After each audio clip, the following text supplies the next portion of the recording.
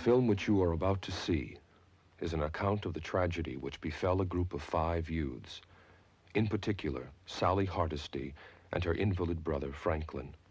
It is all the more tragic in that they were young. But had they lived very, very long lives, they could not have expected, nor would they have wished to see as much of the mad and macabre as they were to see that day. For them, an idyllic summer afternoon drive became a nightmare. The events of that day were to lead to the discovery of one of the most bizarre crimes in the annals of American history. Hey guys, welcome back to Spooky Tuesday, a weekly podcast where we're breaking down all of our favorite slashers, thrillers, monster movies, and black comedies on the new scariest day of the week. I'm Sydney Thompson. I'm Monica Height. And I'm Chelsea Duff. And this week, we're going to take a little boogie oogie oogie back to the 70s with maybe one of the like this movie did so much for this genre. Oh, honestly, watching it, I was like, I'm seeing a lot of the influence on horror over the years for sure. Oh, yeah. I think this movie is a grower, not a shower of a movie, you know? Because, like, a lot Sure, of the sure. times, I like, agree. the first time you watch it, you're like, you don't know how to feel. And then, Mm-hmm. and you don't watch it a lot. And then you watch it at different phases of your life. And you're like, oh my God, this is the most beautiful movie I've ever seen in my entire life. And I want to decorate my house like they do. Oh my God, you would. He's got a vision. He's got the eye. This is 1974, the Texas Chainsaw Two Words Massacre. Two words is crucial. I just Two found words that out. is crucial. And- And I've seen this movie like three, four times, and I never realized. I just deleted that space because I'm like, it's wrong. Wrong. Well, I, I just Googled and I Google said you can spell it either way. And so I was like, why? What? Where did this decision making come from? Um, Oh, but I actually read one article um from someone who I suspect is Australian, but I didn't look any further into it, so who can say? Um, but he was also I think it was a guy, don't know for sure. This person was also talking about how they had watched it a bazillion years ago, didn't resonate with them, they wrote it off, but then they revisited it and they were like art incredible, amazing, blah blah blah. Um yeah. and they were kind of holding up the the chainsaw in the original film versus like in the sequels and stuff as like it just wasn't the moment until this movie made it the moment it was just like a type of saw and then it became like an Oh. instrument of harm like this was just like a power tool before it's like if there had been like the texas hand drill massacre and then hand drills started to be used all the time in horror and stuff like that You And- think that this had an influence on the horror genre? Think of what it did for chainsaws, just for a moment. And also think about what it did to haunted houses. Think oh yeah, what it did for people named Leatherface. True. so true. That is so true. Really Those people took must have a If you go hard on time. babynames.com, There's it's like no number more one people- for the year 1975. Oh my god. I'm saying the exact opposite. for After girls' this, no one wanted to name their daughters Leatherface, Leatherface. anymore. Hey, sweet No, little Leatherface. How you doing, girl? What up, Leatherface? girl. What up, I'm still- Leatherface? Oh, by the way, I pitched Blythe to Adam as a potential child name. That was from the Paranorman episode. Um, because that's what the name of the city was, if you recall. I was like, Blythe, it'd be a great name. And he was like, eh. Anyway, That's not if anyone enough. wants to Well, send see him if he hate likes mail. Leatherface any better. Okay, Oh, I'll try Leatherface. Do be like it's either Blythe or Leatherface. It's like those it's are one the or the other. I think they're You both have two beautiful for a options. girl. Should we put it on our uh, Spotify poll? Should Monica and Adam name their future children Yeah, Blythe name Monica or and Leatherface? Blythe or Leatherface. child. That's the poll. Which wow, we've we've established the poll so early. Maybe we'll come Thank up with God. a third One poll thing off our option. plates. Yeah. I know. Thank God. It's so stressful when it's the end of the episode and we're like, fuck, we got to do this What poll could it thing be? now. Let's pull something out of our ass and it's terrible. uh, but I, I really agree about the like grow or not a shower thing with this movie because I watched it like I don't even know the first time I watched this movie.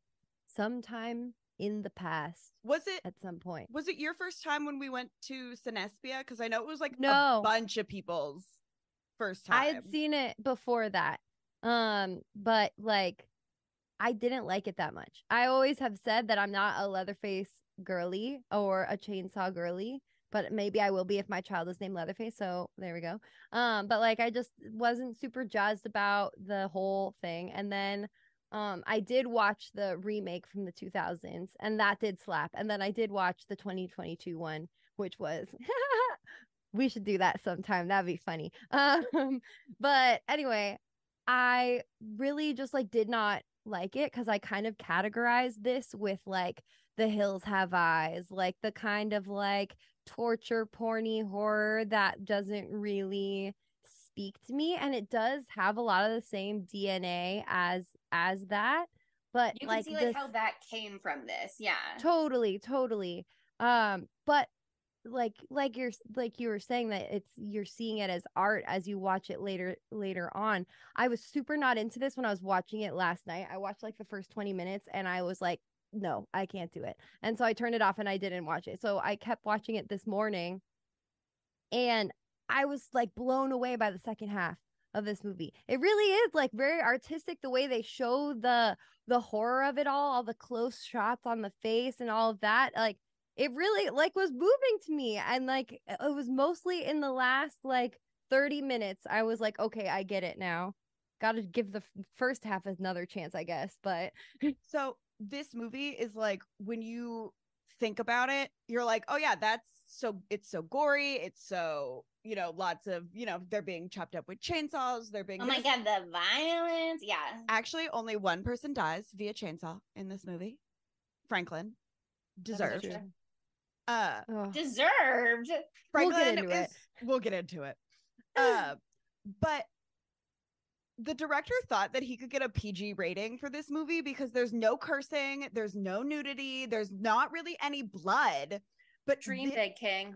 but it got an R rating. Yes, but yeah the way that they build tension in this movie is so good and it's got a couple good jump scares um and some of the shots are just disturbing Yeah. super disturbing. There's so many atmospheric shots too of like the house and like oh my god. Like that's why i we always have imdb up while we record so we can look at whatever the fuck the name of the actors are because that's hard to remember come on. Um and it plays the trailer automatically at the top. I had to like close the tab because it was showing all the fucking like gooey bodies. No i can't do it. Like it's oh my god. really disgusting shit in this movie all right so we start the movie with like the almost like a star wars title card coming at you yeah and what year did star wars come out 78, 77. A New Seven. Hope. 77. okay so they ripped off the texas chainsaw massacre with their Who could opening believe it how dare they uh unbelievable Return of the Living Dead copied this film for sure when Oh, they yeah. did their intro title card. everybody is just everybody wants what the The Texas Chainsaw scroll, Massacre has. It does But- the scroll thing though, doesn't it? The text like scrolls up. yeah, That's what Star Wars stole. yeah. The Mm. scroll, baby, the, The scroll. scroll. Mhm. Uh, Nobody had scrolled before this film. no one had ever it was scrolled. new technology. I don't know if that's true. People They- They- didn't even scroll on a computer. You just um you couldn't scroll one page. anywhere. There's only one page. there was no internet. You couldn't do anything. it anything. was That's it. just printed That's out. it. Everything was printed out, and so you couldn't scroll. No scrolling. Can you believe you could only it? you could only Tobe tip. Hooper invented it. Really innovative stuff. Um, it took them like weeks to get that shot to do the scroll. There were people holding up each le- level letter. moving It's it oh so my God. slowly. Yeah. so slowly. That's all. it's all done. really Real. It's practically practical love effects. practical effects. It's practical effects. I love the practical. I love the practical effects in this. The scroll. Did you The see the scroll. scroll in the Beautiful. Texas Stunning. Here's the thing: we get back to back incredible practical effects where we go scrolling inner like right after to like flashes of dead bodies. Amazing.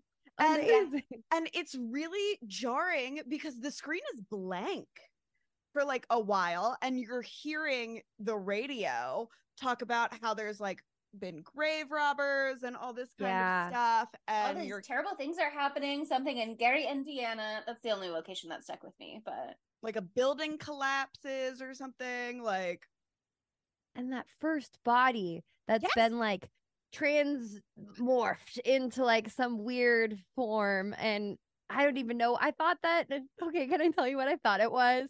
what? Yeah.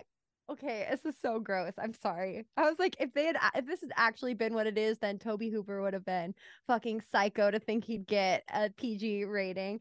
I thought that it was like miming a body getting a blowjob.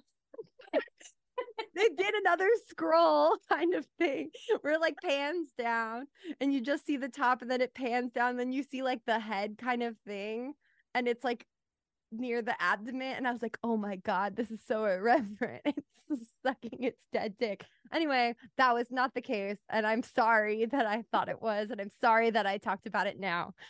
I love your beautiful mind. I mean, I think that's Uh, a great idea for a future film, maybe. No, we don't have to do that.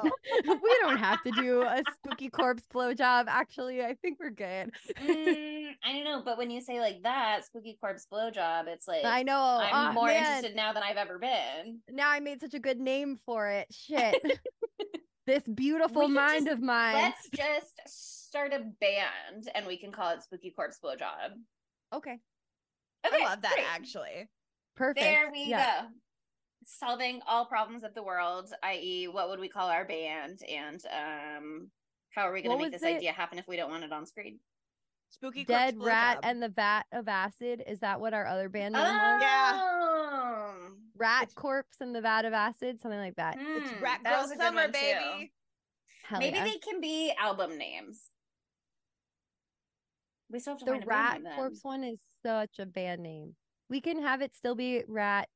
We'll change Rat our band name for every album cycle. Yeah, that's perfect. That'll really help us gain notoriety. Notoriety. I you know how people today. are really into the pop star era, though. Like Right. that'll just be like we're we're in our different band name era. Here's the thing: Oh, our it our band will still be Spooky Tuesday, but it will be the artist formerly known, uh, the podcast formerly known as Spooky Tuesday, uh, Spooky Corpse Blowjob.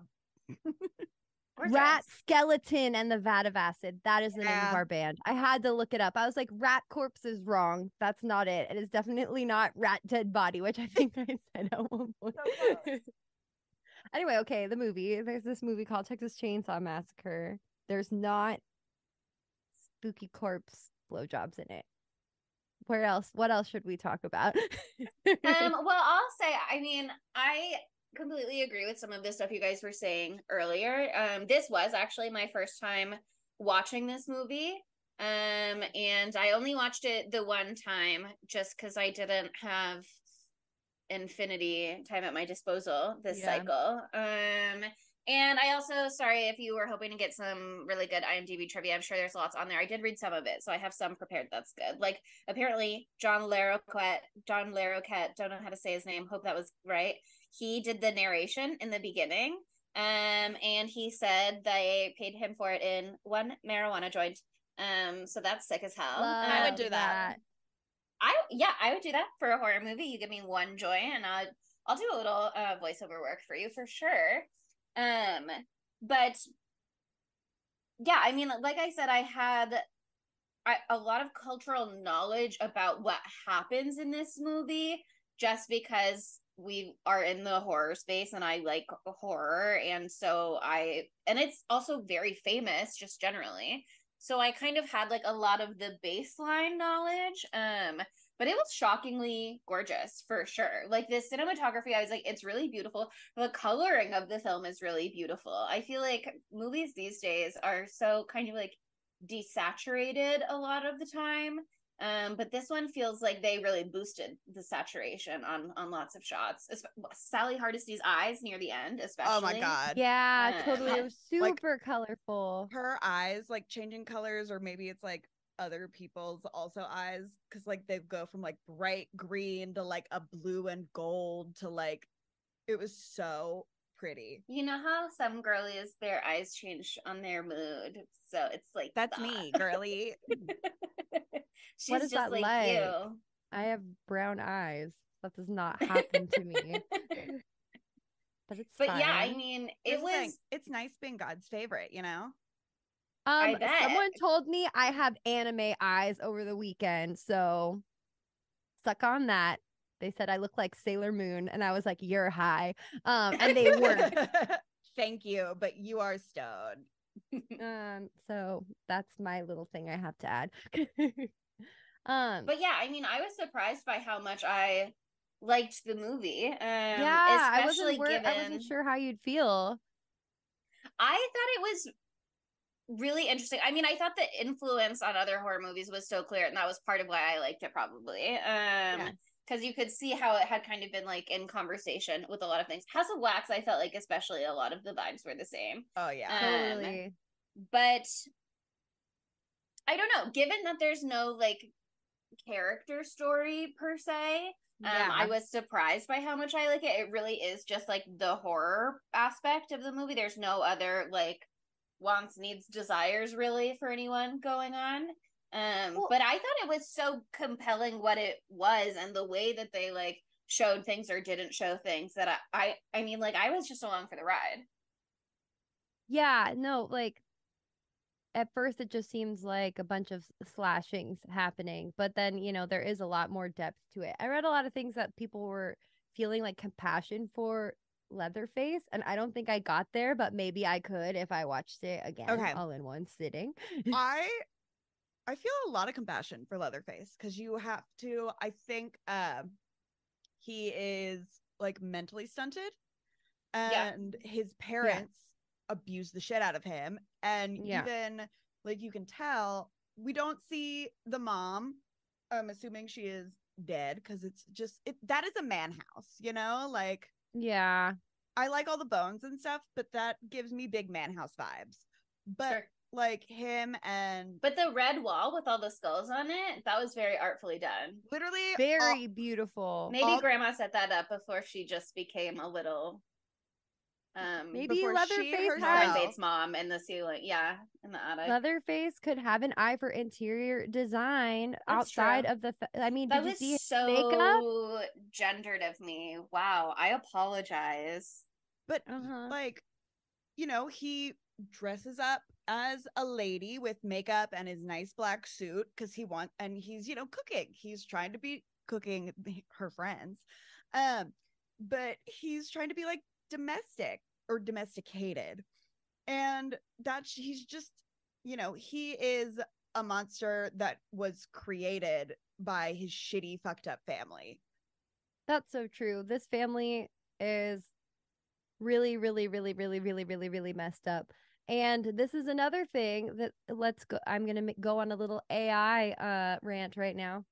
This is what could happen when we bring AI in and it takes away all the jobs. Because what did the weird cow killing gun do? It took away this family's way to get all their killing anger out of their bodies. They used to just smash the shit out of cows as their jobs. And then the gun came and took their jobs away. And what did they start doing? Murders all the time. They probably did some murders also, but I think probably more murders now. So it's an unsuspecting side effect of technology advancements.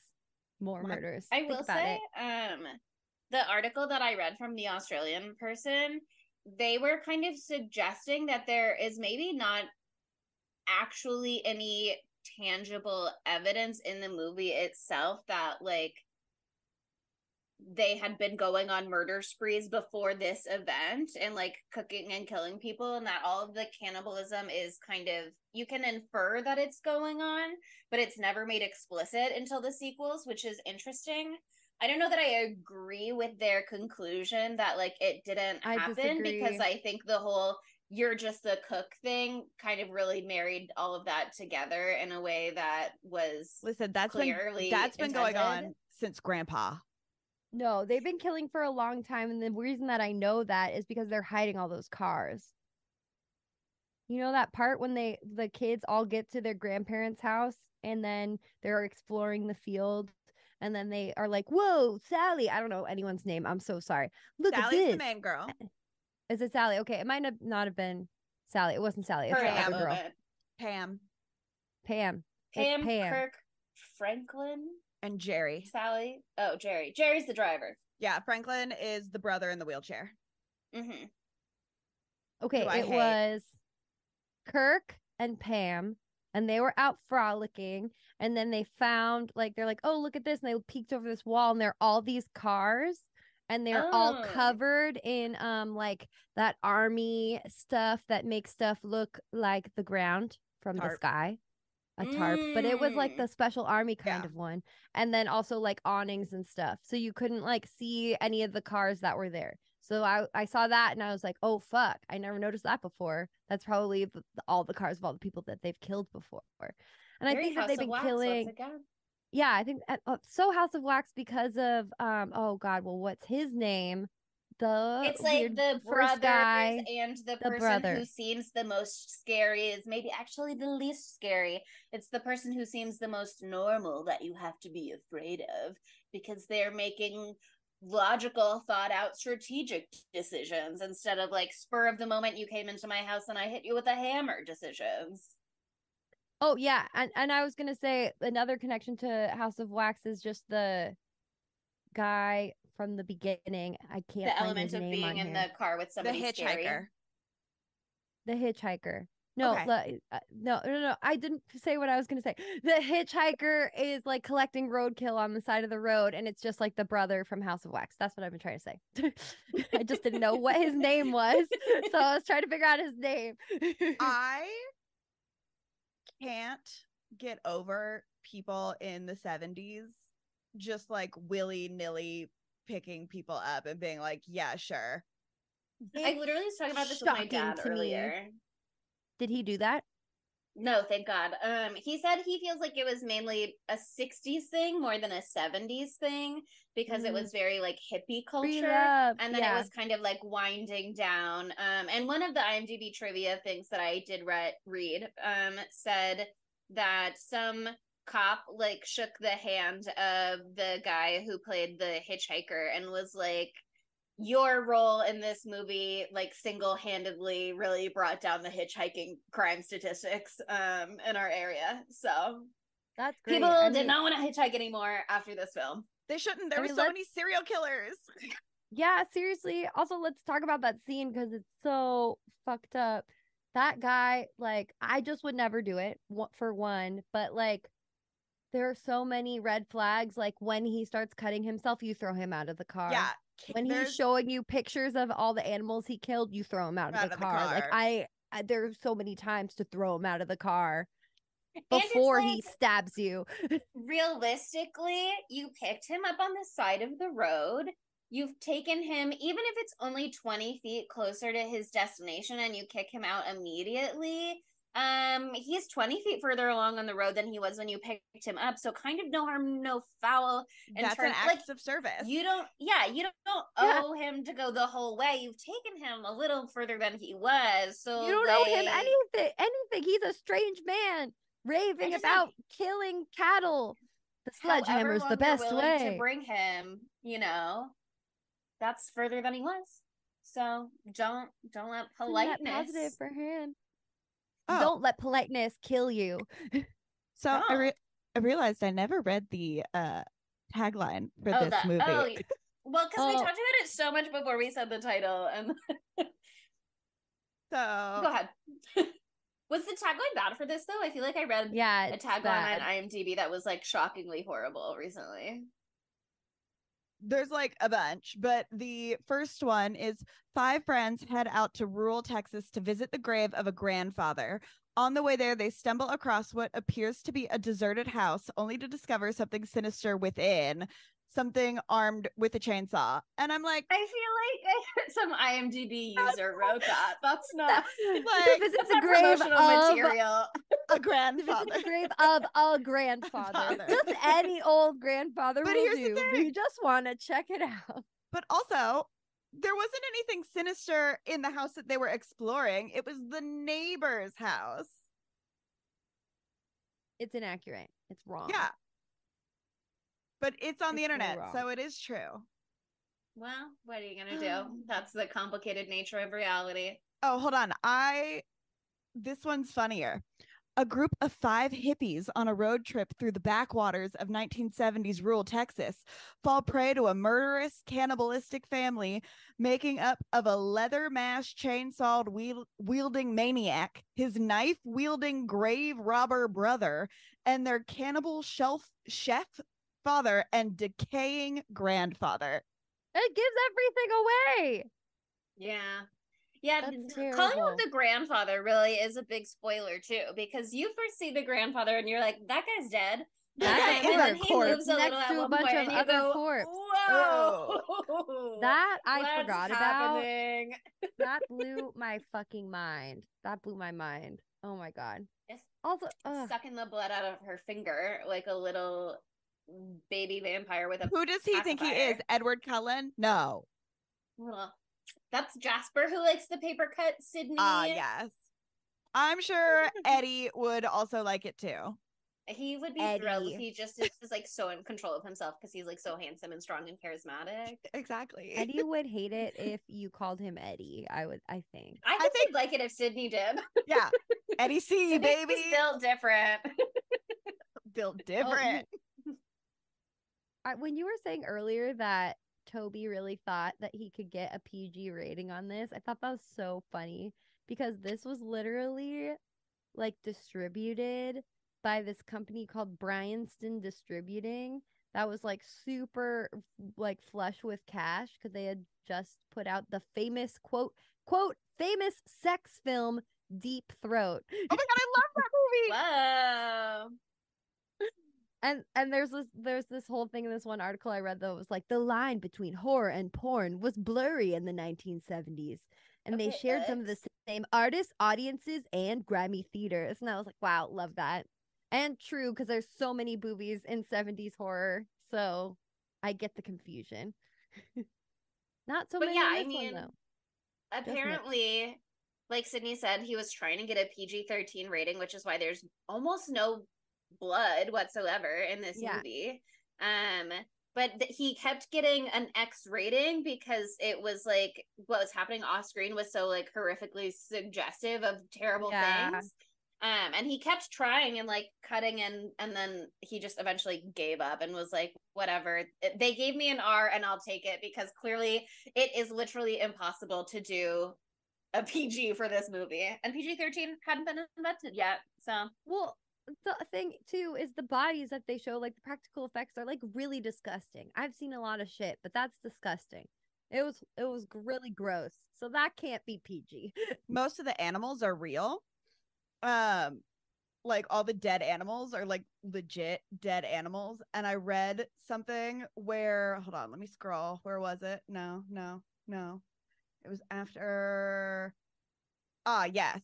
Makeup artist Dottie Pearl accidentally name. injected herself with formaldehyde on set that sounds bad. because not good. all the dead animals are in there and the carcasses were turned into props by the film and so truck trucks full of euthanized dogs and cats would turn up to set and dumped the cadavers and Dottie would go through the bodies and inject them with formaldehyde to like keep them from like rotting in the hot, so hot hot Texas sun I will and vomit.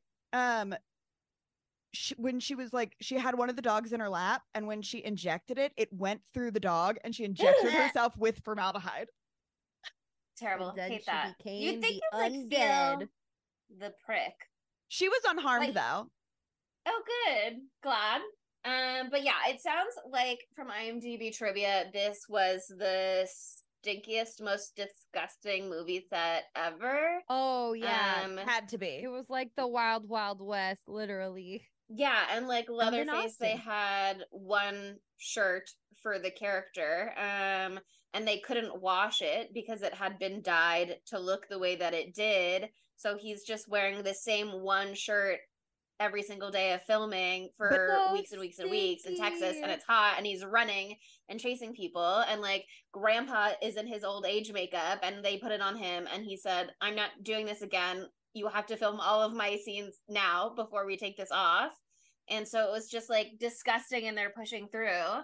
And I think the guy who played the hitchhiker said um it was the worst thing he's ever done and he was in Vietnam so you know it was really bad um, Oh my so god. yeah he said filming that scene was the worst time of my life and I had been in Vietnam with people trying to kill me so I guess that shows how bad it was and all the like dead animals and stuff like it was just disgusting and people were vomiting Holy all over like the place shit. from the thing and so then it smelled like vomit and they were like passing out because it was so hot and makes it me wanna smelled so die. bad but that's one of Oh. and here's the thing, them made them want to die too. But that's something that's that horror baby. That's authentic. But that's something we're never going to be able to do again. Know what i mean? Like I you can't make a so movie like that. but You can't like abuse your actress anymore. Oh, so Ugh, which is devastating because the art is so worth it. Because like this movie you know they mer- they they said it was like this is a true story and blah blah blah blah blah. Like this is like the precursor of like found film footage. It feels like you are there. You are with them. It is raw. It is like gritty. Some of the shots are like really pretty like things but like you can smell this house through the screen. Know what i mean? Like you Ugh, like you yeah. can feel how hot it is through the screen. Like it's yeah, I see what you're saying about the found footage thing, but it's so but it's like it is like very artistically shot. Like Mhm. one of my favorite shots in the movie it's so good it is um when pam and kirk are you know they're looking for gas at leatherface's house and kirk has gone in and hasn't come out and so pam is like walking towards the house and we Mhm. s- like the camera angle is like low and it's like looking up at like the back of Pam in the house and she's in those like small red shorts and the open back like w- like Mhm. bodysuit. Yes. and it is just this like the way the film is the way the shot like it is it's beautiful and very sexy also. Yes, i'm like i wish i could wear backless things more often You could, but here's the thing. I was just thinking about how they like make such a big deal about her back and like make it so so beautiful and that's such a eye-catching thing. And then later on she Uh-huh. gets put on the meat hook. Yep. It's just Mhm. it's like not foreshadowing, but is it foreshadowing? You're like you're looking at her back. Well, but you here's the now you're, you you're won't be able to later. noticing You how to later. But you're noticing like how good her back looks and then you're like oh would it does not look ruined it does not look good anymore It would. Yeah, I I, would hate for that to be stabbed with a big meat hook. That would be You, s- terrible. you see this clear, unblemished skin. I would hate for a meat hook to come along. That's Um, the immediate thought you have. immediately I thought that, and then I went, "Good thing this is not that kind of movie." And then later I went, "Oh, "It is that kind of movie," and I was, yeah, I mean, I was shocked. Um, it is but it's so interesting the way they do the meat hook stuff like that's so emblematic of his no blood gore is mostly off screen thing is like in a remake and probably in one of the actual remakes doing something like that you would have seen like the meat hook like pierce the flesh and you would have se- like it would have been so gory it would have been You- so close up it would have been disgusting it's so much mm. more evocative to just see her like struggling with it almost so in I think the last horror movie that like really genuinely scared me was the 2003 Texas Chainsaw Massacre remake. Okay. shit was fucked up. the renee zellweger one No, No, the Jessica that Biel one came one. out in 1993. Oh, i don't know the, the other ones are sequels, and then they do the remake Okay. in 2003 with Yeah, Jessica. okay and uh you see oh you guys were all going off in the group chat at one point about this there's Yeah. lots Yes, of and then blah blah this I watched it, and and then there was a sewer cockroach in my house at the same time, like the big ones that can fly, Oh, and it was are the most traumatizing experience of my life. Anyway, continue. I watched, but like I I, rem- I remember like where I was and like ex- like it's just burned in my brain. And that scene is the one scene that I like play over and over in my head of her getting like meat hooked meat hooked.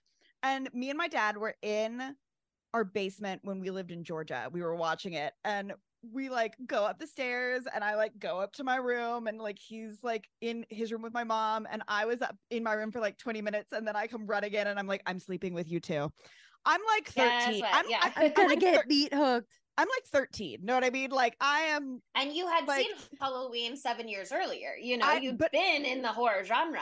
yeah, like I've seen like I saw Saw, like I was used to like all these things, but like She was desensitized until this. This is way more gruesome than uh not soft. This is way more gruesome than Halloween. Halloween.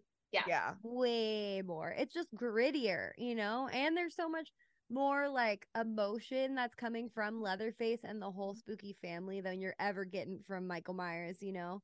I was Mhm. reading one article and someone said like, "Oh, it's like they're all like copies of each other and they're copying Leatherface and like Michael Myers is copying it and blah blah blah blah blah. And I'm like, yeah, in the masked way, but Michael Myers doesn't hold any of The that gravitas. same gravitas. Well, I guess he actually has a lot of gravitas. He just doesn't have yeah, um and he also has panache, but he doesn't express it it's not the through range. himself with his body. He does like it's his art that he's presenting, and clearly somebody in this household is also an artist. Um, but also, yeah, I mean, I think that's one thing they specifically wanted to bring through with Leatherface because apparently, um, Tobe Hooper and Gunnar, whatever, Gunnar Hansen, who plays Leather what a name. Leatherface, um, they like would work together to be like okay here's what you're communicating with this line like here's what you're trying to say essentially but um they really developed that character to have like developmental disabilities um and the actor was trying to be really respectful about it actually um and apparently went to a school for people with mental um and developmental delays to kind of learn more about how to represent that responsibly And like see how their Um, bodies moved and all that kind of stuff. Like Yeah, yeah, the yeah, noises they um, make, all that kind of the good jazz. So they really were they really were clear with like what they, were trying to express and their limitations with how it could be expressed when they were filming it. Um so i think that's part of what really comes through because so much of michael myers i mean first of all it wasn't even always the same person under the mask you know what i mean? Um and they mostly the character has a a clear thing but it's not always like one it's it's the performance is different you know what i mean it's just not the performance is there to be seen and like a little scary and to be like building suspense rather than to be the person lumbering after you Yeah, no, I just I, this is much more uh, like moving and It's interesting. to me Yeah. because of the layers to this family and like yeah, I can see it now. Now that we're talking about it more, I can see how you can sympathize because he comes from such like an absolutely fucked home. He's obviously going through a lot. He also Leatherface is like obviously having some sort of queer experience as well, you know, because he's dressing as and maybe dressing as his mom or I don't really know what's going on. Um, but using that beautiful blue eyeshadow, which we love to see very of the time. Very of the Um, time. Very Love Witch. Is that where Love Witch got the look from? absolutely. Leatherface. Leatherface. Yeah, I think that's I think that's spot on. Um, so yeah, I can I I'm I'm getting on board the emotional train. I see I see you, Leatherface, for what you've gone through. Um, and also your brother's hella annoying. If he did that stick out your tongue thing all the time, that would drive me nuts too. That part when he gets after the hitchhiker gets kicked out of the car and he's just like I don't know if that came across on the microphone, but you very you quietly stick out but your I tongue, think the They were doing and you raspberries. spit at the same time. Yes. And then okay, that was so weird too. I was like, are they trying to draw like a parallel between what's his name, Franklin, Franklin. and the hitchhiker? Because they both do that annoying fucking stuck out the tongue thing. And I was like, why? Who does that as an adult? like, Oh my except for people who've got a lot going on. Can we talk about Franklin for a second? Yeah, let's talk about Franklin. Poor yeah, guy. yeah, it seems like you, hate guys have strong feelings about Franklin. So You hate to piss and fall down the hill. That does suck. I'll That give him does that. suck. But he is just and here's the thing, I can sympathize with Franklin too, but like he's so fucking whiny and obnoxious. And I get being in a wheelchair in the 70s. You're probably going to in be a crabby. terrain that is not wheelchair friendly and But- nobody is like aware of your needs. but also, I just feel like he's like that all the time. Well, apparently the actor was like that all the time. Yeah, and Um, nobody liked God. it. He method staying acted. in character. He was like nobody sat with him. thing, like He though. was not acting at all. I love to be a whiner, so I guess I sympathize maybe too much. I yeah. Well, I related to him in the fact for like if there's a weird guy in the car and it's uncomfortable, I guess I would be the one talking to him too. Um, that would definitely You, be it me. would be you. it would be fucking me. And I am that bitch all the time. Uh, I was that bitch in the park today. I was like, oh, uh, someone's talking to me. They're a little strange. I will reply, of course, and start a conversation. Meanwhile- that seems like the right choice. I would have been Pam and been like, no, this person looks fucking weird. Do not stop and let him in our car. Okay, over. Yeah. Well, I never would have let him into the car, but once he's in the car, I can't stand silence. So we have to talk to him. but I also would have been Pam sitting there with my astrology book and being like, oh yeah, Yes. Saturn's in queen, astrology queen. retrograde. I know. I was like, this is such a Sydney movie. They've designed their house to look like Sydney's dream, Dream house, house. And all it the has bones, like it has five astrology. minutes of astrology. Mhm. It has barbecue. Love. Perfect. Gorgeous. Love barbecue. Oh my god, amazing. Um. Okay. Do you and guys want to like? colors. Yeah. Y'all want to talk about like each kill and what, how you felt or something? Yeah. Yeah. Because there's not a lot besides that, and then the end, and we'll get we'll Okay. do that too. We talked about the meat hook one. Uh but There's well, the meat more hook with isn't even in the death. He's just Well, like s- I stashing her there while he's attending to Kirk, and then she's in the freezer later, which is so much worse. the freezer thing was so funny. That was such a funny jump scare where she's like totally like she was just shaking it, but then she's totally like bleh, like comatose, you know, and then all of a sudden she's like jump scare, I'm alive still. that one was a little hokey, but I liked it. And she Um, also had like full zombie makeup look going on, sort of, but still liked it. I loved uh Kirk's him getting hit with the hammer because that's the first time we see Leatherface. And yeah, the way that he like pops out like the and like, just immediately smash. yeah. But That you know, was so it's funny. you see such the, a the beautiful wall of all the skulls and stuff. Leatherface So dead. I'm like gorgeous. A perfect scene. A perfect Yeah, sequence of but- events. it's so scary. Also, the way that he starts seizing, um, which convulsing, Yeah. it made it like so much more happen. real. Yeah, Yeah. Well, yeah. Sometimes you get hit in the head and it gives you a brain injury and you have a seizure. Seizure. Like, yeah, Yeah. No, it's really fucking disturbing. horrifying. Great acting choice from Kirk. Or Maybe Um, it was in the script. I don't know. I jumped at the chainsaw death of Franklin. Like I full on jumped because I forgot about it. Yeah. Oh, yeah, that's so a good. that's he a like good scary one. he cut him the fuck up. Oh yeah, He's sliced. He's diced. he's, they cut. They cut his fucking And then just wheelchair in half. Right through him. Oh, so good. Yeah, I mean, it is a rough chase scene. Um, you don't you're in a wheelchair. You don't want to be left alone. Um, you also don't want your sister to go off alone either. Um, because there are crazy people out there who are attacking and killing everybody. Um, it's not a rough situ. It's not a good situation for anybody. It's rough for everybody out there. Um, but it was not ideal that they were running and Sally was pushing his wheelchair and they're in the wilderness and you know Here's my thing. they were still looking for Pam and Kirk at that time, and then Leatherface is just fucking there. yeah. It's over. Do you think that Sally thought to herself, damn, white bell bottoms were a bad choice? Because she lit up like a fucking beacon Right? in the Like, moonlight. I'm like, she her can't not night. fucking hide. She looked cute, but it was a bold choice for going to a gravesite anyway. But also, why are you wearing pants in a hundred degree Texas summer? Some of us are just pants 70s. girlies. No, not when I'm a, I have always been a jeans girly. If I'm wearing shorts, then I'm vulnerable to chub rub, which is my mortal enemy and the death of me. So bad. sometimes you just gotta. Sometimes it's like the heat is not gonna be more overwhelming than that moment where my thighs start to velcro together.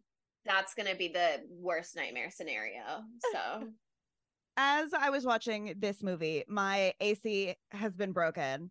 It's Oh. like 115 degrees horror. here and like 52% humidity. When I tell you, I was like feeling what these characters were feeling heat wise. And I was like, going through it. no, I've been in my panties all day. All day. no pants. No pants. No pants. That's- I've been making like packs of ice cubes, sticking them in my bra. That's the only way to live. I know. And I'm just like, girl, I would have been like Pam, as little clothes as humanly possible, but also the bug bites. Like they were running. Yeah. They, I'm wearing overalls in the desert. I don't care. I want to be not putting sunscreen on my whole body and I want to be not getting inner thigh injuries. I'm trying to get a tan at all times. You cannot tell right now because I have not been outside because it is too hot to go outside. She's got to put her self tanner glow on. yeah. Um, and Get the buffing mitt mitt. Is that what they call yes, it? Yes, it's a mitt. But Oh my god, I got here- it. here's the thing. You could tell that these kids were are probably like city Texas kids because like if you live in like a rural area or like have spent any time like amount of time in a rural area like you don't r- frolic through tall grass like they were. There's a That's where lot of ticks live. ticks, snakes, all these things and they're like, "Oh, there's gonna Bad. there's absolutely that. You do not do that. And then you don't go up to some strange people's house. Because They're neighbors though. That's their neighbor. here's the thing if you don't know them, just assume that they'll shoot you because you're on their you property. Will get shot. You will That's get shot. bad. That Like- very oh. obvious. What about community building? Has anybody even thought about that? You knock on the door and you wait. If you don't go inside or don't just I think um, don't knocking know. on the door a may be a mistake sometimes too, unfortunately. yeah.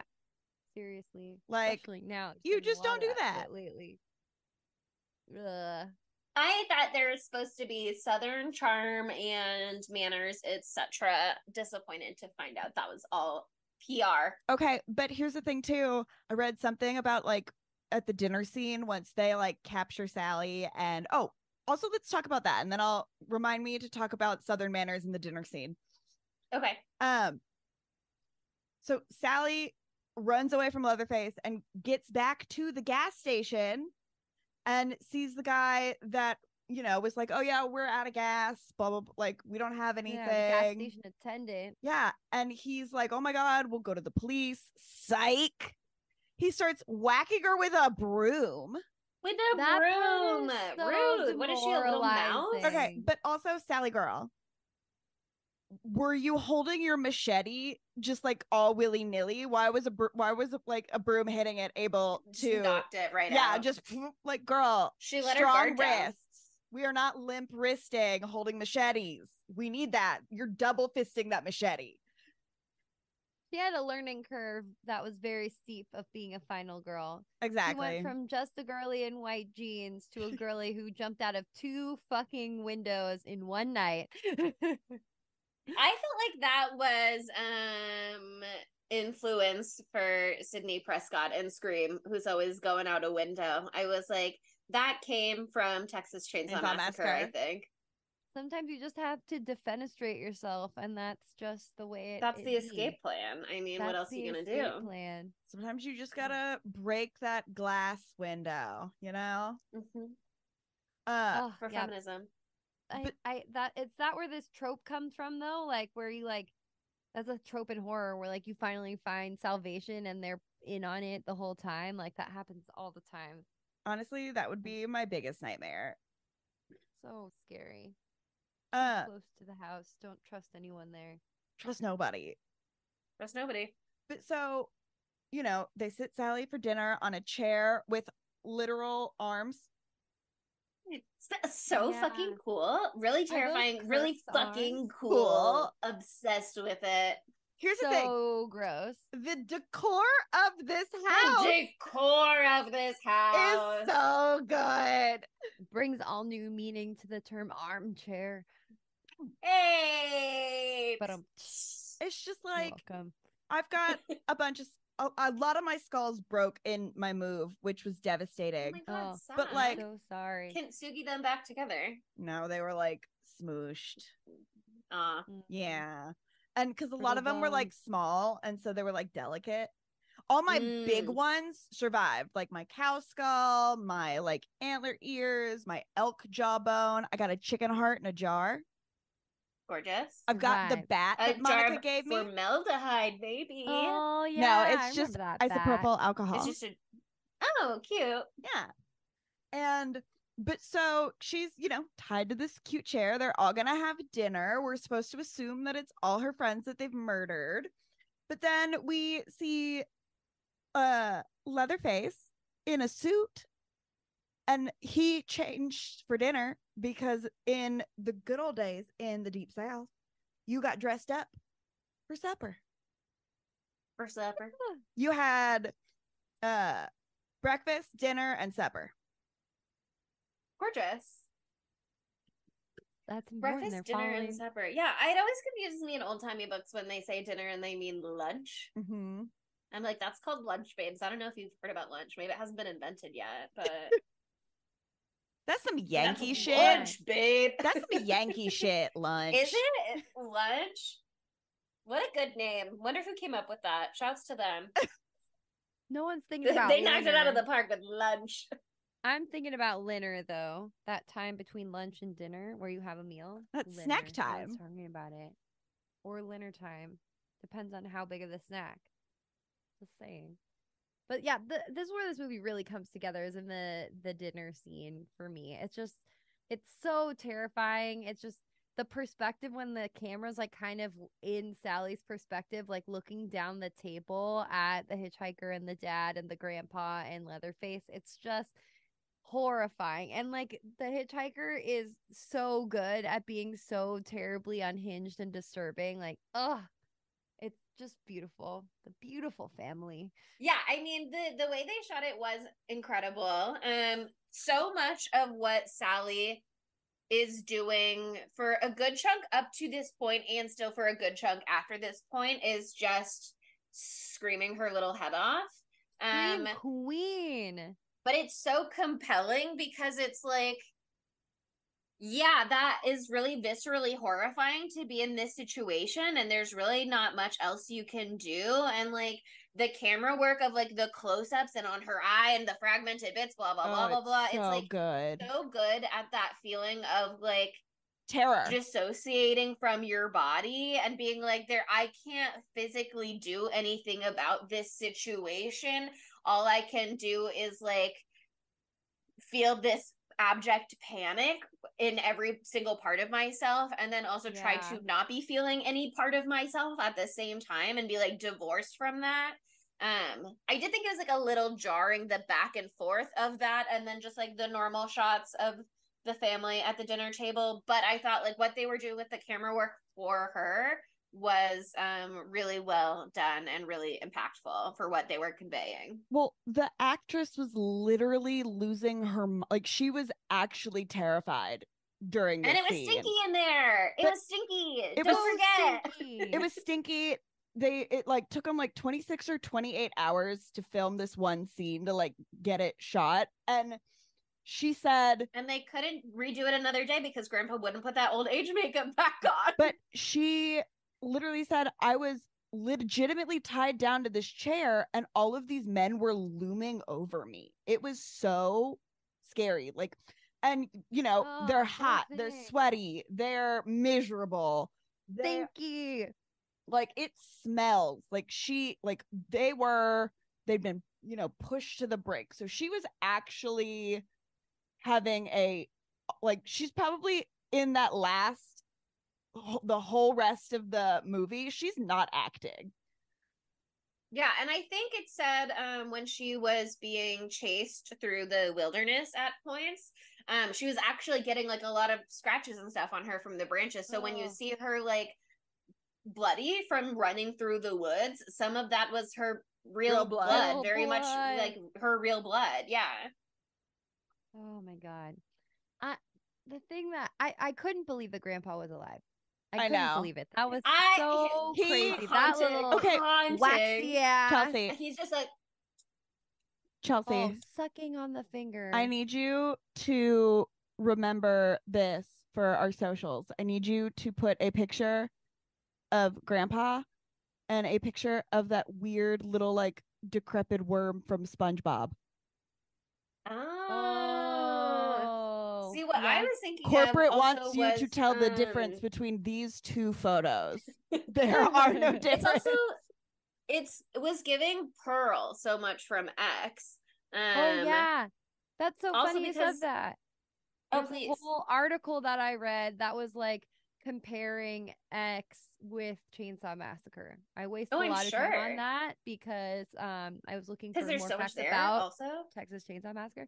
Yeah, yeah, yeah. But like it they were comparing like how you feel compassion for um the The bad guy. murders in in both in both of those and they're both about like the youth um taking over like what the the way things used to be so like either the youth or like in this in the case of Texas Chainsaw Massacre it's like newfangled technology is pushing them out and um you feel compassion because they've been displaced but then you also don't agree with cannibalism um so I, Or I don't like murder. don't really do murders, but it is sad the way that you've been pushed to the fringes of society and have been discarded, and the way Yeah. that you are disabled, whether for whatever reason, if you were born disabled, if you became disabled, if you became disabled with age, like you're just deemed useless sometimes, which is horrible. Um, horrible yeah I thought it was so interesting though the disability representation in this movie. Um I couldn't find an article looking at this movie specifically and not this movie within like the context of horror as a whole and like talking about a whole bunch of stuff. Um but I thought it was interesting because obviously Leatherface is um disabled as we've talked about and then the grandpa is pretty disabled um and then also Franklin has a disability and he's in the Mhm. wheelchair. So you're getting a lot of different aspects of it, which I just thought was I thought Franklin especially was interesting because it's so rare. It's it's becoming less rare these days, but it's so rare that they are just like, yeah, he's here, this character's here and they're disabled and that is not really the point. Um but they are allowed to just be like one of the people in the slasher or whatever. Even though he was so annoying. He That was that's unrelated. person I- unrelated he's That's got a bad personality. personality. I know. Unrelated to I his, was just I- annoying Sydney. I okay? I cheered a little when he got murdered. Oh my god. I did. Anyone can be annoying. Exactly. the- True. the real lesson here. Anyone. True. but yeah i mean i just think it's so weird and so interesting with like like the reverence to elders sometimes in like you know traditional family dynamics that they're like oh even though this is going to be way more difficult let's have grandma grandma grandpa excuse me kill killer. Let's just He's he loves this. he's so good at this. He is just going to knock it out of the park. I'm like baby boy can't even do a damn thing. He can't move right now. How's he going to do the hammer? He cannot do the hammer. yeah. Um, that part is And they're like- so drawn out and so horrifying, like that they just let it run. He drops the hammer like 40 times and it keeps Mhm. clanging in the bucket. Like, oh God, it's so nerve wracking. Right? Because you're like, is he gonna do it? Is one of the other men gonna be frustrated that he keeps dropping it, and are they gonna pick it up and just go whack? But no, she jumps out a window. You're really it's unknown like what where the situation is going, where it could Yeah. go.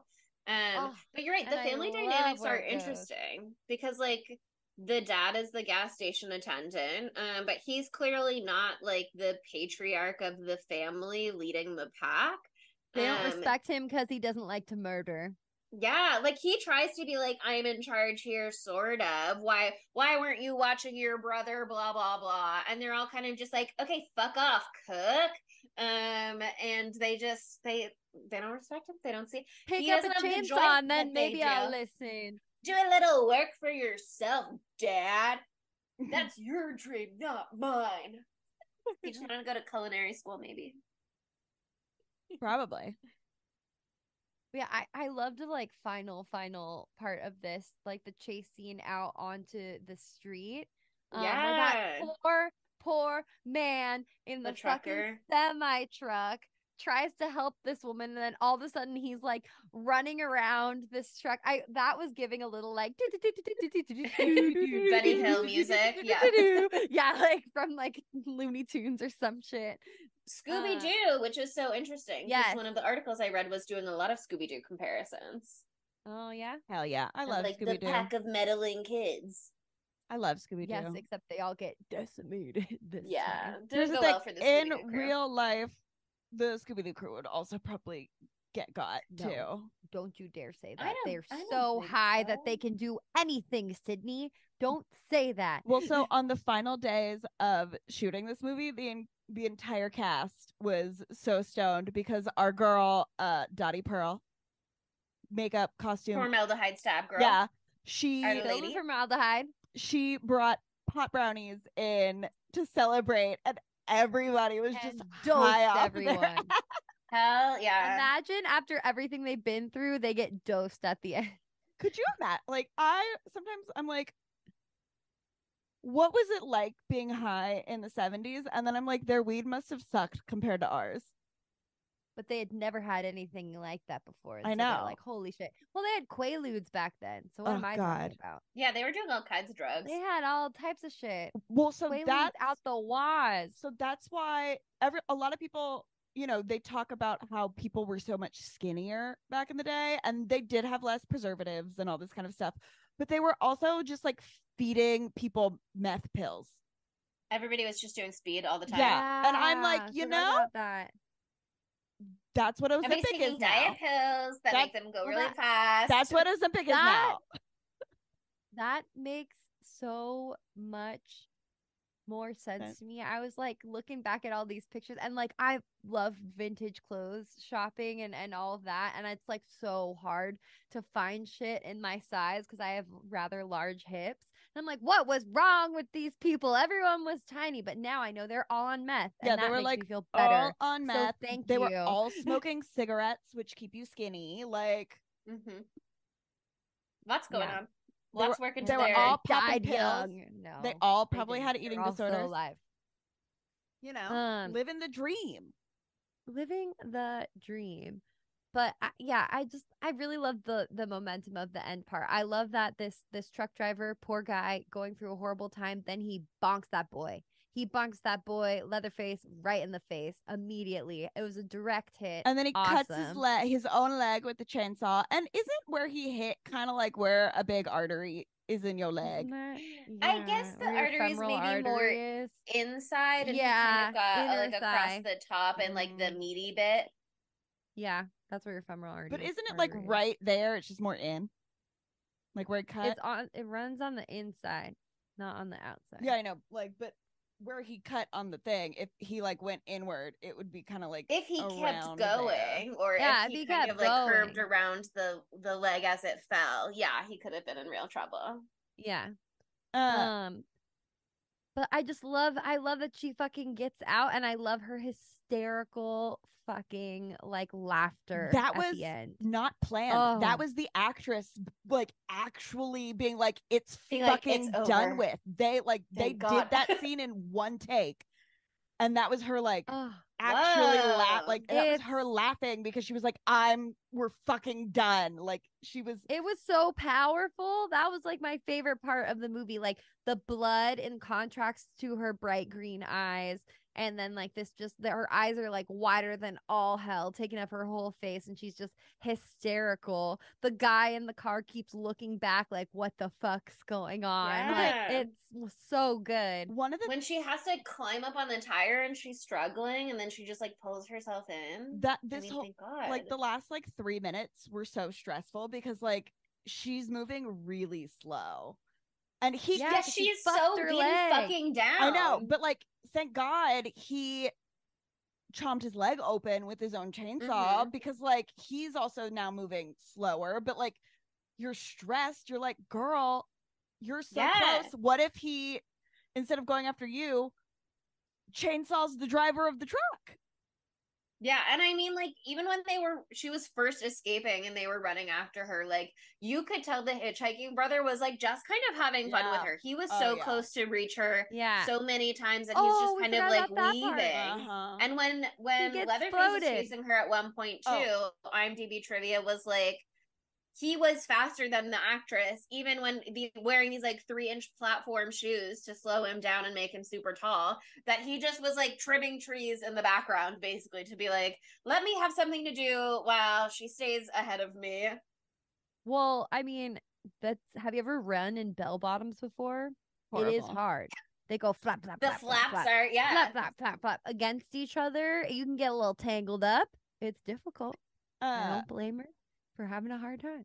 I will say the hitchhiker brother when he gets run over by the semi truck and you see all of it Sick. Great. Sick with it.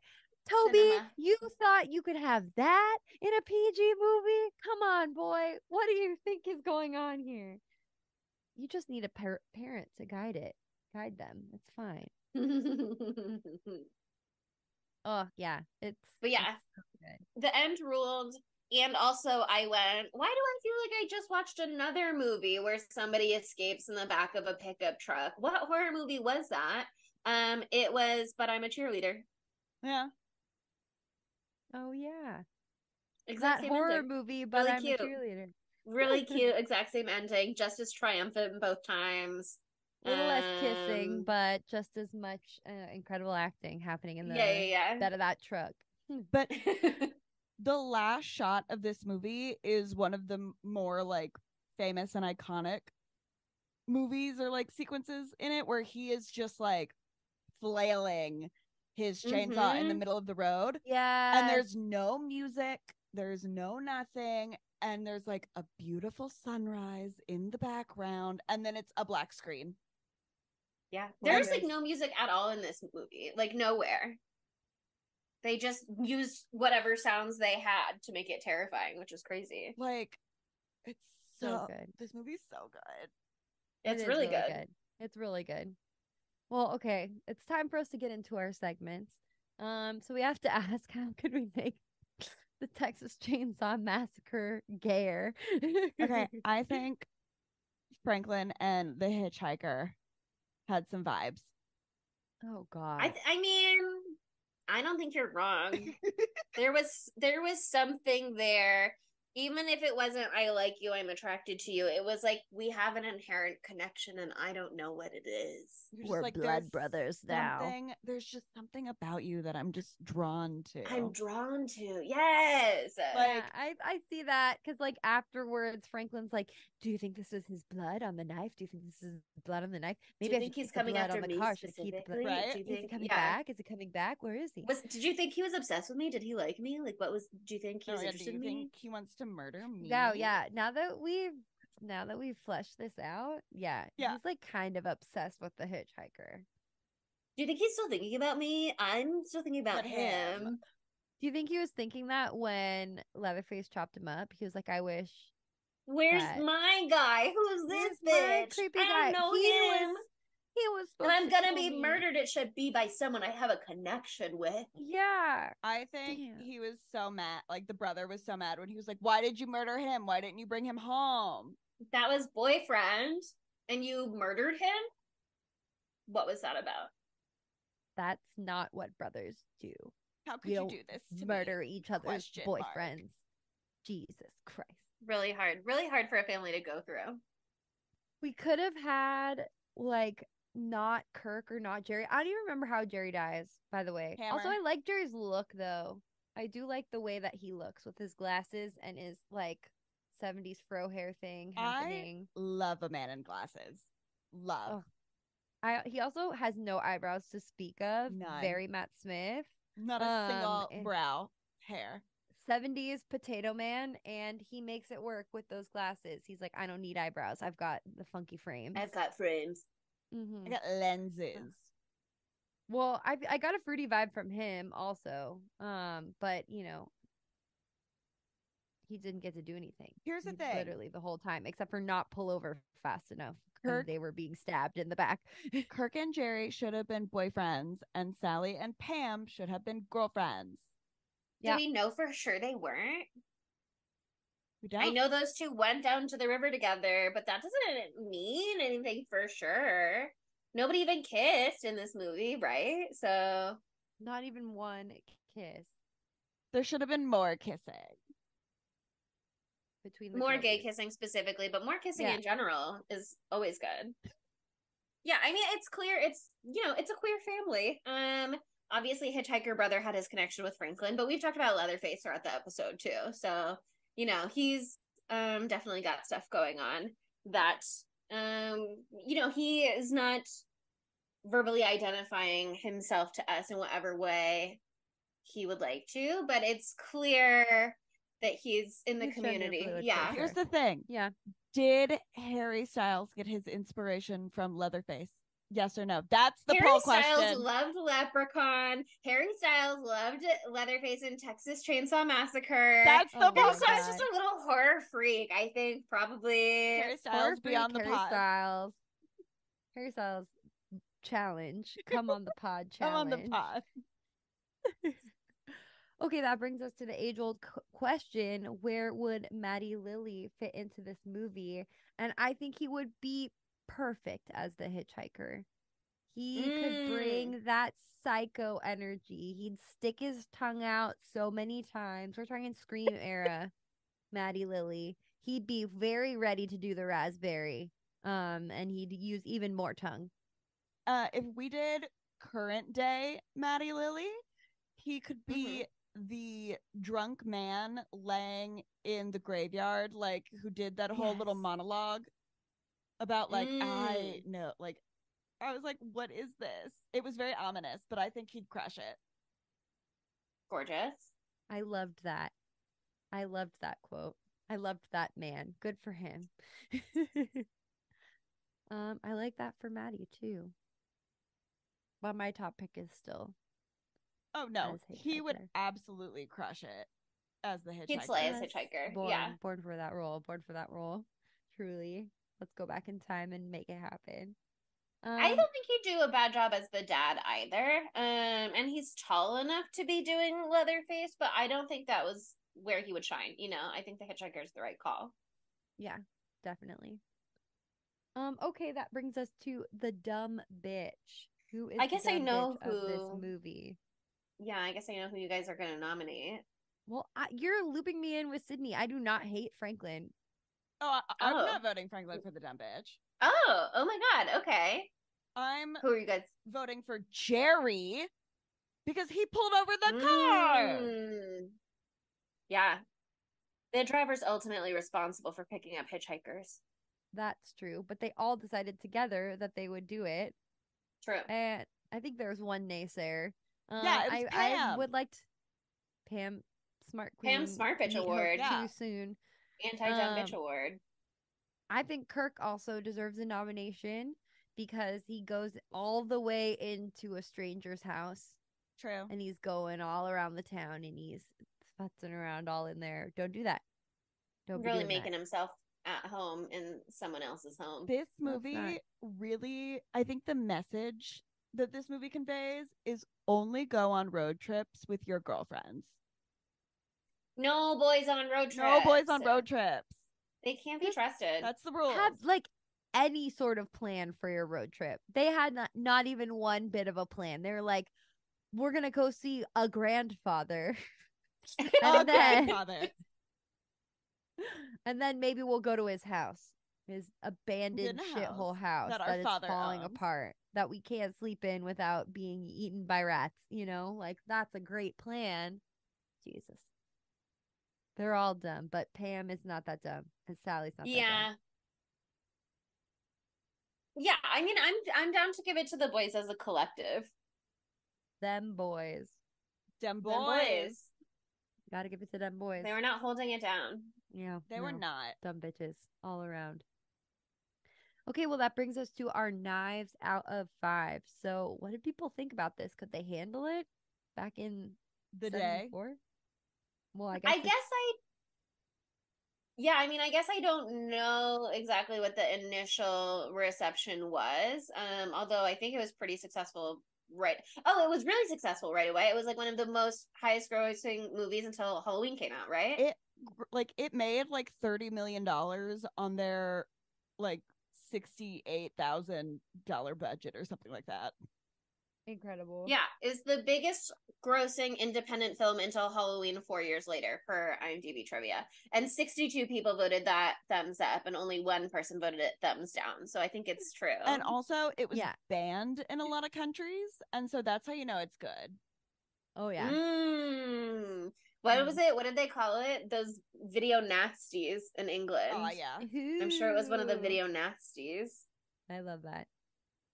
But yeah, I mean, it has done well over the test of time as well. Um, on IMDb, it has a 7.4 out of 10. Um, on Rotten Tomatoes, it is 88% fresh from critics and 82% fresh from audiences. Um, I think it was well received at the time, and it continues to be well received. And you know, like you guys said, it's kind of a grower, or yeah, a grower more than a shower. So I think it really only gets better the more you watch it and dive in, and and come to appreciate the art that came in instead of just like the horror that was created. Totally. This movie's a 5 knives out of fives. This is Mm. this is like your base layer of horror. You know what I mean? And just the The fact that bedrock of horror. but like this movie is actually scary. And like not in like a oh my god way, but like in that like you are uncomfortable yeah the entire time. Like totally. this movie and Hereditary kind of made me feel the same way. Oh, interesting. That like level of like what's like what is happening like Revulsion almost. just the way it was able to build suspense and it's so raw and it's so dirty and it's so stinky and beautiful i love it okay new nickname for leatherface is stink hey stink hey, hey stink Hey, stinky guy. hey big stinky For man sweet big stinky man. Mm.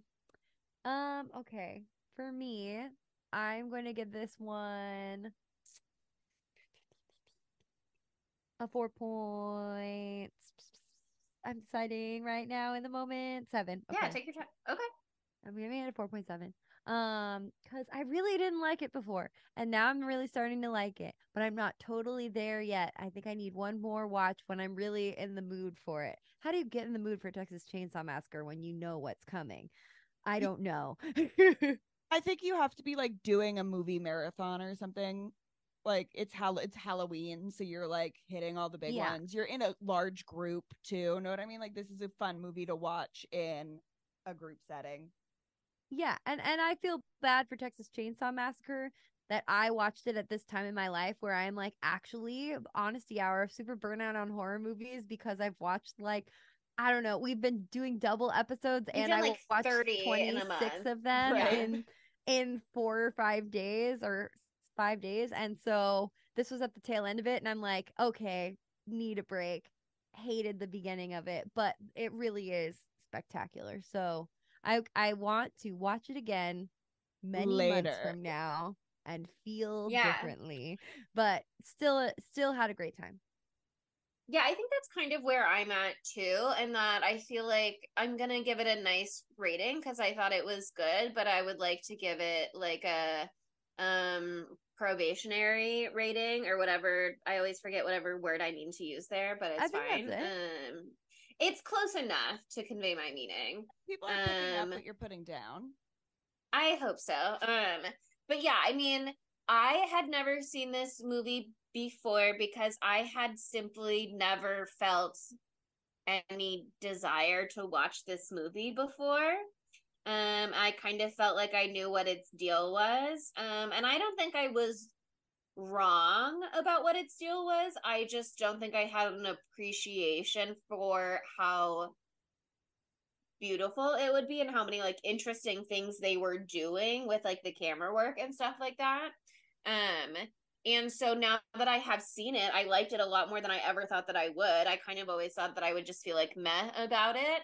Um that said, I feel like if I were in a different scenario one day in the future where it's at night and I've had a movie going supplement and I am like sitting there fully prepared um emotionally to give one thing my full attention for an hour and 30 minutes.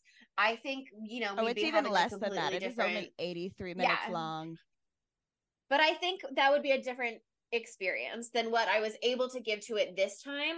And so I liked it, but I just think um I'm going to give it like a 4.5 knives out of fives and I think in a future watch through on a second visit that would maybe be different, but um you know, we'll see if it ever makes the list for a spooky takes Tuesday. This is all I can do for now. I love this was one of the movies that we were like film broing out on a little bit.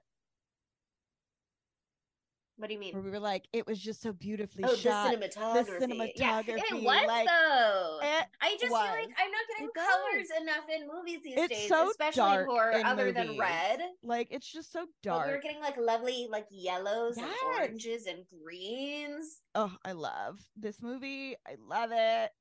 The sunsets. Yeah, it, It was beautiful. it was- the sunset part was particularly gorgeous. The sweat on Sally's face. Like it was great. Yeah. Um, well, that brings us to the end of Texas Chainsaw Massacre.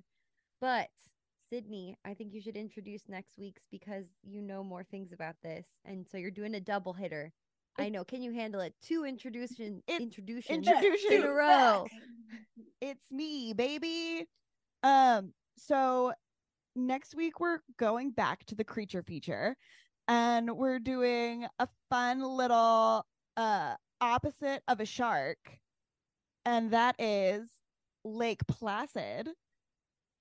You know all the sci-fi movies which is like Mega Shark versus like Gargantuan Gator or something. Like they have shark and gator stuff all the time. Oh yeah, there is some of that. I've seen Okay. like Big Gator movie before, and it had the little brother from Lizzie McGuire. Oh my in god, I love him. Jake died. Thomas. He died, but we're not watching that movie. Sad. We're not watching that. We're watching Lake Placid. and we are having so Betty White is in Lake Placid. And so I thought it would be really funny if we were like, what if we got a Golden Girls podcast to come on because Betty White is in it.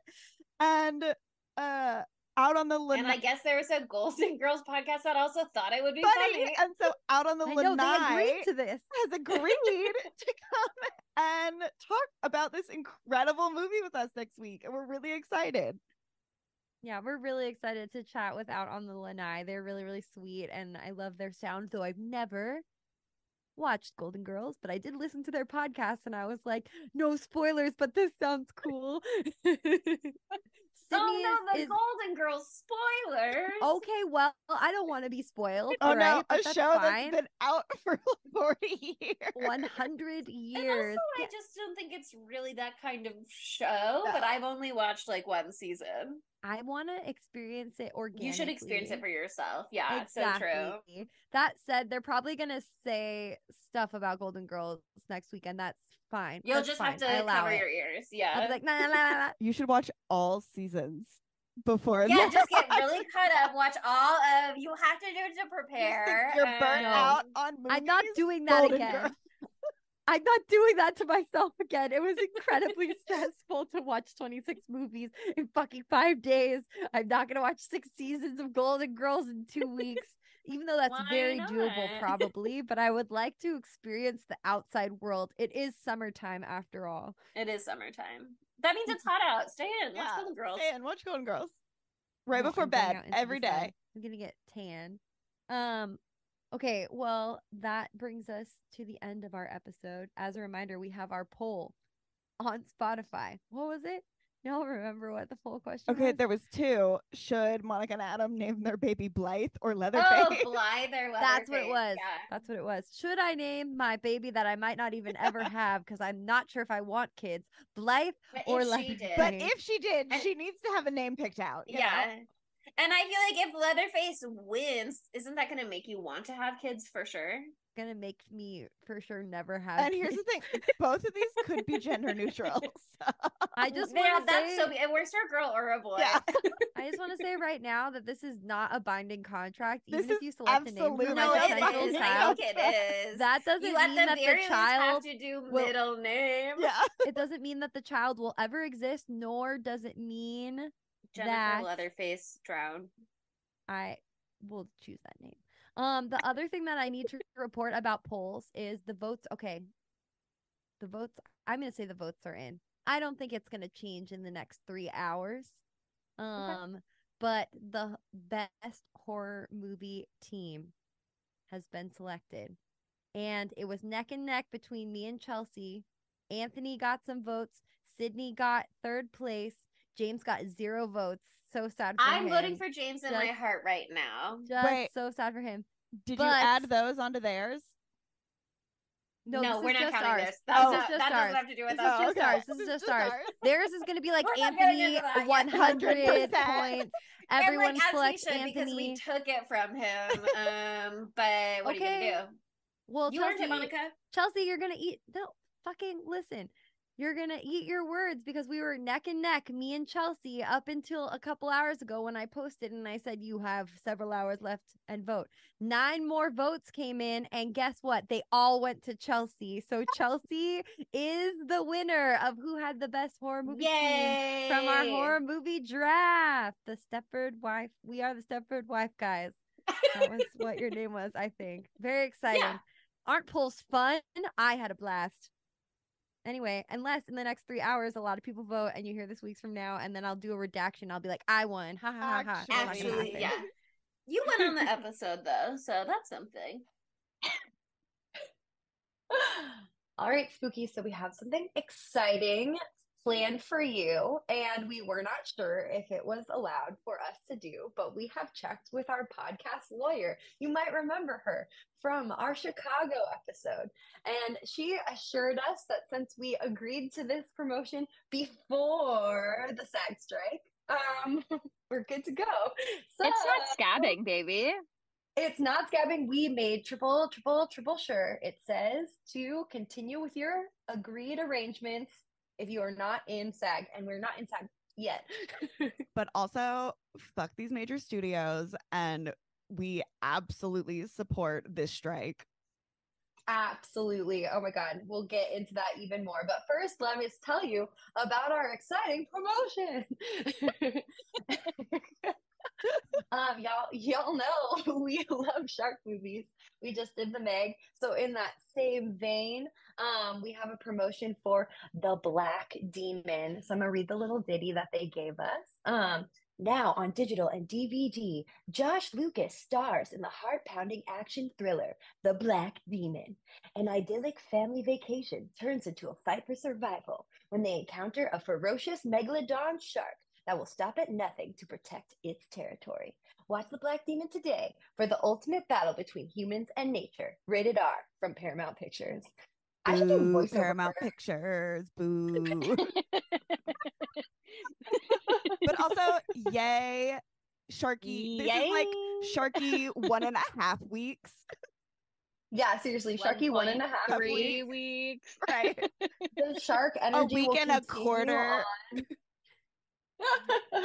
but yeah, I honestly been wanting to see this movie, um, so I'm excited to have the opportunity to do that now. But it's out on on digital and DVD, and you, dear Spooky, have the opportunity to win it on Blu-ray. That's right, physical. We're doing physical stuff. They're shipping it, so we don't have to take on the cost of shipping. That was something I was really worried about. but we're doing a social media contest just like we've done before. So head to our Instagram and figure out how to enter. You have one week from the date this episode comes out to get in there. And then we will announce winners on Wednesday. The date of that being the 26th of July. I was like, fuck, I have no idea. I Who can't knows wait- when a Wednesday is? I can't wait to see Reese Witherspoon's, I guess now ex-husband, since he's got a new family. Uh, Wow, can you believe he would cheat on her after Sweet Home Alabama? They went through so much. exactly, I know. and he's got a whole new family and a, like more new children, and now he is battling megalodons. So Yeah. what a leap That's going from happens when you Alabama to megalodons. Yeah, the trailer for this looks pretty fucking epic, so I'm very excited to watch. um, but just to reiterate though, we're fully, fully, fully in support of SAG and the WGA strikes. They're so, so beyond incredibly necessary. Um, and as we said, we're not in SAG yet, so we're continuing to do the podcast, but um, we will be following all of the rules that they give out for for how to not cross the picket line, how to not be a scab. So, um, you know, that will evolve as time goes on. And it- Our lawyer used to work for SAG, so you Yeah. know we got extra knowledge in this. hmm Got that yeah, inside line. seriously, and like, it's just insane what's going on right now. The fucking AI background actors thing was the most whack shit I've ever heard in my life. That's not true. I've heard some whacker shit, but it's pretty it's whack. up there. Un- unbelievable. So I wish everybody who's affected by the strikes the best, and I'll be out there dinging my little bell on my bike as I bike around the Warner Brothers studios in support. I mean, I agree with SAG president Fran Drescher. It's time to bring out the guillotines, baby. Let's go. Let's go tear Let's down go, the walls of Versailles! You know how much I love a guillotine. Bring them out. Bring them out. Yeah, that's great. Um, anyway, why not give us a five star review? We are 10 reviews away on Spotify from a 100, and that makes us look super cool, super sexy. Which So we why not are. find 10 of your friends and give us 10 five star ratings? You don't even have to write anything, but you do have to press play and play like 30 seconds of it. So just saying. Um, but as avid listeners, that should be no issue for you. Um, also give us a five star review on Apple Podcasts, write a limerick, write something about Leatherface, compliment his makeup. Tell us what we should for you. name. What should the middle name of if we all name our children Leatherface for a first name? What should their middle How should we be? distinguish between the Leatherface girlies? Ooh, yeah. Yeah. Yeah, what should their That's middle names Leatherface be? Marie, Yeah. Leatherface 'Cause Elizabeth. There'll be a double We gotta get funky in that. double names. No, you have to do the classic girl middle name. Leatherface. Rose. Oh my god. Leatherface Rose is kind of nice actually. Mon- Actually, it sounds really Monica's nice. like, Yeah. Dibs. Damn, I That's actually love that. Giving leather and lace vibes. It's you know what giving I mean? Texas Chainsaw Massacre and Titanic. Two very oh, timely movies. Beautiful. Wow. Why not also follow us on social media? We're at spooky underscore Tuesday on TikTok, Twitter, Instagram, and YouTube. Please subscribe to us there. We're really pushing that right now. That and the ratings, big things. Um, and we're at Spooky Tuesday Pod on Facebook and Tumblr, and at Spooky Tuesday on Letterboxd. And as I say every day of my life to you, thank you for listening, and see you next Tuesday. Bye, spookies. Bye. How did you get stuck way out here? I was at the slaughterhouse. I got an uncle that works at a slaughterhouse. Hey, my, my brother worked there. My my grandfather too. my family's always been in me. Spooky Tuesday was created by Monica Height, Sydney Thompson, and Chelsea Duff, and edited by Sydney Thompson. Our gorgeously spooky tunes are all thanks to Tamra Simons, who you can follow on Instagram at Captain Tamra, and our podcast art is by Mary Murphy, who you can find on Instagram at the underscore moon underscore OMG.